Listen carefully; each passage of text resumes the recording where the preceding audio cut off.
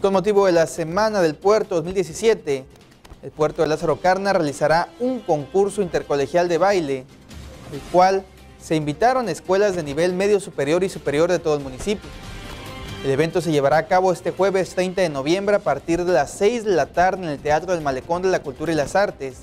donde se presentarán diferentes ritmos que serán interpretados por las distintas coreografías que presentará cada grupo participante. Mediante el concurso se busca fomentar hábitos saludables así como los valores culturales entre la juventud, además de que estos se involucren en el programa de aniversario del puerto. Cabe mencionar que para este viernes 1 de diciembre, en el mismo marco de actividades, se llevará a cabo el reto API Young Fong 2 kilómetros, una carrera de inflables que por primera vez se desarrollará en Michoacán. La cita es a partir de las 4 de la tarde en la explanada del Malecón de la Cultura y las Artes.